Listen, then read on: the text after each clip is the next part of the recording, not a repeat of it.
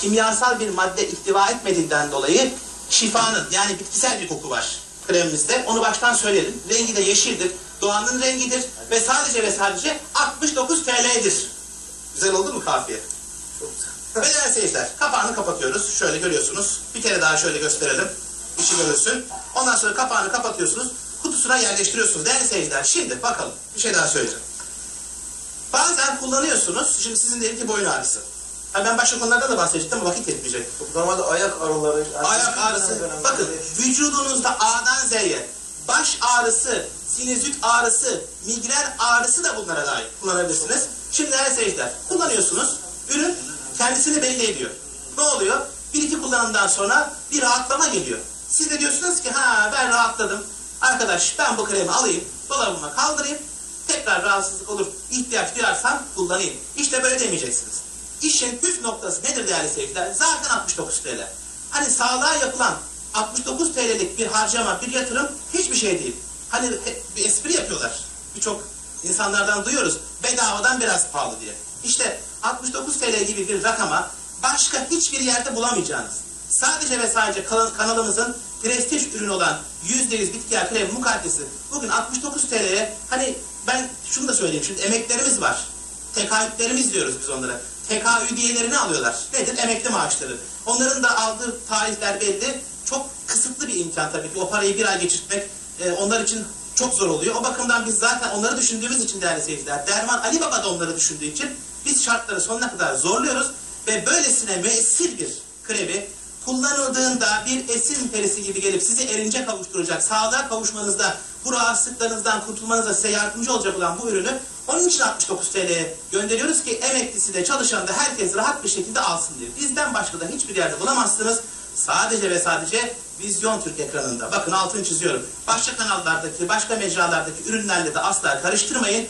Alan, kullanan herkes teşekkür etmeye geliyor. İnanın bizim bu konuştuklarımızdaki ciddiyete, ciddiyeti fark eden herkes alıyor. Kullandıktan sonra da teşekkür etmeye geliyor. Ben buradan çağrımı tekrar yineliyorum. Sağlık Alın. Tabii o da var.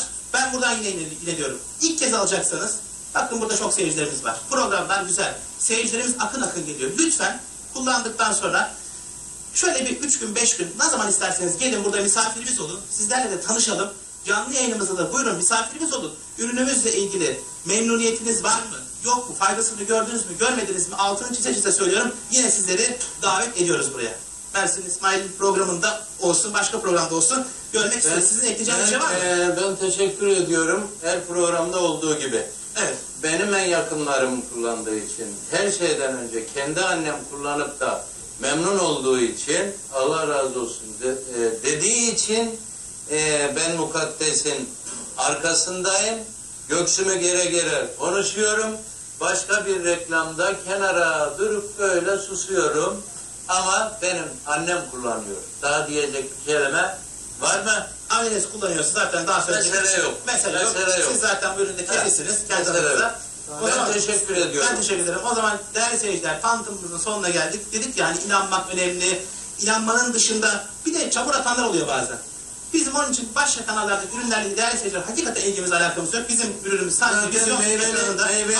ağaç taşlanır. O, o çamur atanlar da insanların sağlığıyla Evet. oynayanlardır. Var işte çamur Evet. atanlar var. Onlar Ben da öyledir zaten. İsmail Bey ben çamur atanlara Evet. bir söz söyleyip öyle veda etmek istiyorum. Değerli seyirciler bazı kimseler bakın bazı kimseler başkalarının kusurlarını sürekli ortaya koymak için çok çaba sarf ederler. Sürekli başkalarının kusurlarını bulmaya çalışırlar.